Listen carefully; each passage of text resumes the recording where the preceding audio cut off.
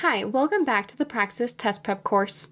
My name is Tasia. I'm a former high school biology teacher, and today I'm going to walk you through some practice problems for the Praxis exam 5857.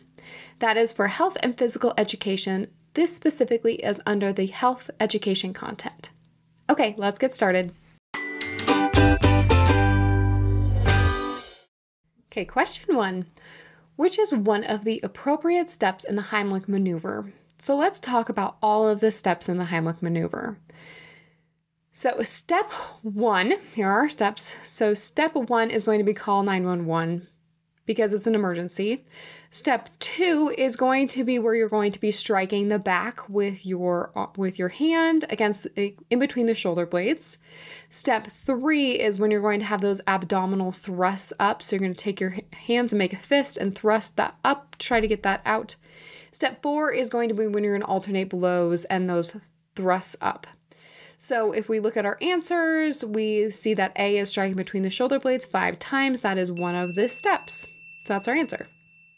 We don't have the rib cage. It's not wrapping our arms around the rib cage. It's around the torso. We're not holding that person upright, and we're not striking the small of that back at all. We're striking between the shoulder blades. If a person needs to look for medical related answers but prefers not to consult a medical practitioner, which of the following can they do to get accurate details. Rely on medical claims or rely on claims given in infomercials of medical products so that you're not really going to get the full picture there. Ask people on social media for medical advice.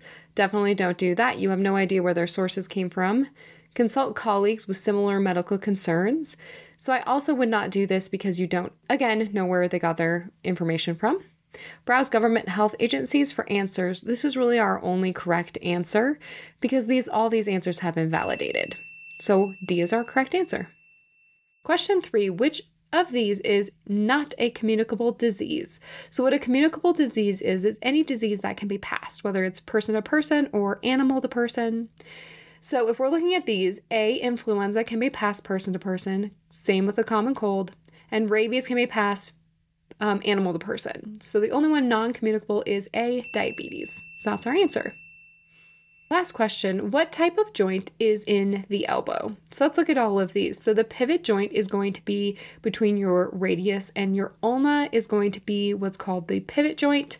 So when those actually go like this, that is where they're pivoting around each other. The saddle joint is actually going to be a joint that's in your thumb, and it kind of the reason why it's called a saddle is it looks like a horse riding a, a, a horseman riding a horse. A hinge is going to be in your elbow where that's actually moving, and the ball and socket is going to be in your hip.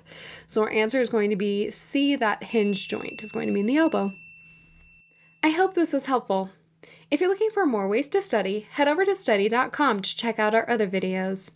As a Study.com member, you get access to hundreds of practice problems like the ones I just walked you through, as well as targeted instruction for some topics you might still be struggling with, along with some test taking strategies to help you maximize your score on test day.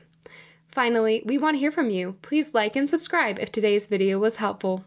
In the comments down below, please let us know if there's topics you'd like us to cover next.